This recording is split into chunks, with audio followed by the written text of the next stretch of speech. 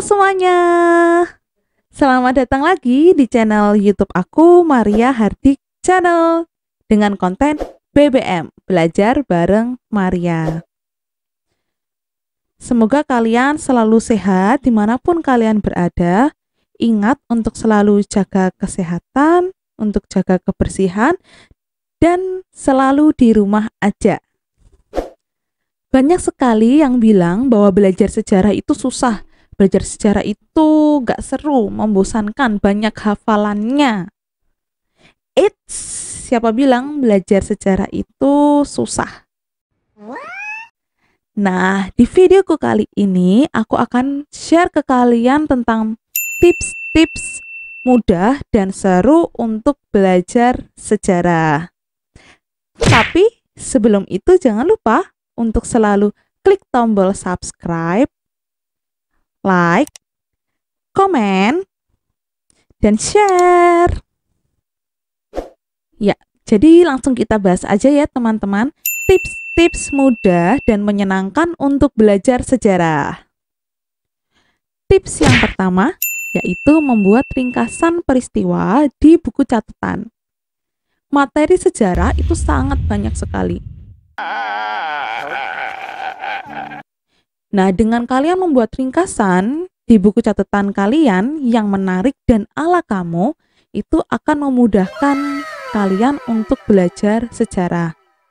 E, sebagai contohnya, misalnya kalian dapat membuat peta konsep atau membuat garis waktu di catatan kalian. Tips yang kedua adalah diskusi bersama teman-teman kalian. Buatlah kelompok belajar dan ajaklah teman-temanmu untuk membahas suatu peristiwa. Di situ kalian atau teman-temanmu akan membahas satu peristiwa atau materi sejarah. Dan di situ kalian juga dapat melakukan tanya jawab terhadap materi itu. Jika hal ini sering kamu lakukan, maka semakin mudah juga buat kalian untuk mengingat materi sejarah itu. Tips yang ketiga adalah suasana tempat belajar yang nyaman dan sesuai dengan karakter belajarmu. Pada saat belajar, tidak hanya mata pelajaran sejarah, belajar apa pun pasti membutuhkan suasana tempat belajar yang nyaman dan sesuai dengan karakter belajar kalian.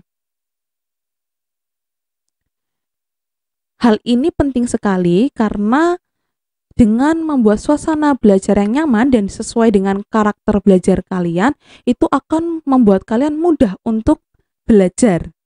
Khususnya di sini belajar sejarah.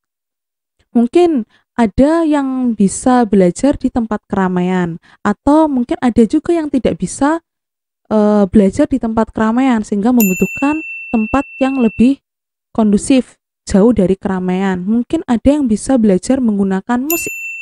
Musik tapi ada juga yang tidak bisa belajar menggunakan musik.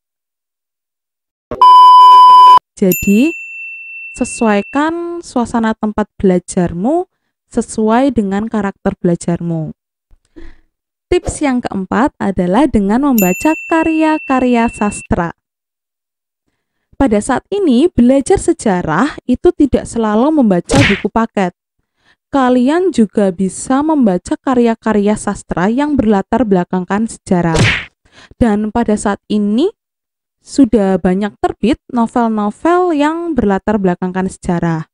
Contohnya seperti novel dari Pramudia Anantatur. Seperti Bumi Manusia, Rumah Kaca, dan masih banyak novel lainnya yang bisa kalian baca. Tips yang kelima adalah dengan menonton film-film sejarah. Menonton film sejarah itu adalah cara yang mudah dan menyenangkan untuk belajar sejarah. Karena dengan menonton film, kalian akan lebih tahu tentang penggambaran satu peristiwa yang terjadi di masa lampau. Dan pada saat ini sudah banyak sekali film-film bersejarah yang dapat kalian tonton. Contohnya, tentang filmnya Gandhi, tentang film R.A. Kartini, kemudian tentang Hotel Rwanda, dan masih banyak lagi film-film yang bertemakan sejarah.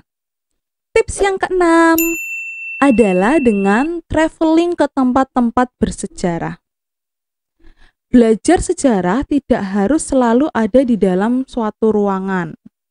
Ya kan? Kalian juga bisa belajar sejarah dengan berpergian ke tempat-tempat yang bersejarah.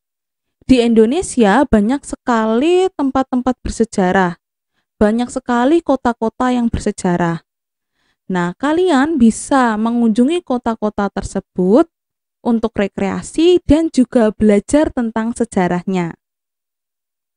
Tips yang ketujuh adalah dengan mengunjungi museum-museum. Sekali lagi ya teman-teman, belajar sejarah itu tidak selalu berada di dalam ruangan, dan tidak selalu berada di dalam kelas. Kalian juga bisa belajar sejarah dengan mengunjungi beberapa museum. Dan pada saat ini, mengunjungi museum itu bukanlah sesuatu yang kuno atau sesuatu yang membosankan.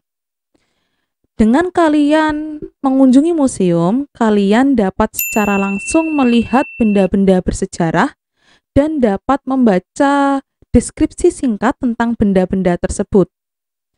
Dan dengan mengunjungi museum, itu kalian juga dapat merasakan suasana zaman dahulu. Dan pastinya mengunjungi museum ini adalah salah satu cara yang menarik, yang mudah untuk belajar sejarah. Dan di Indonesia, sudah banyak sekali museum-museum yang dapat kalian kunjungi.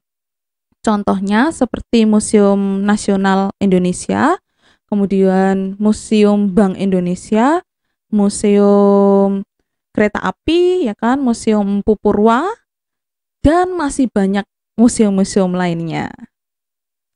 Nah, itu tadi adalah tips-tips mudah dan menyenangkan untuk belajar sejarah. Semoga videoku kali ini menginspirasi kalian untuk dapat belajar sejarah. Nantikan video-videoku selanjutnya hanya di Maria Hardi Channel dengan konten BBM Belajar bareng Maria. Terima kasih semuanya. Sampai jumpa kembali.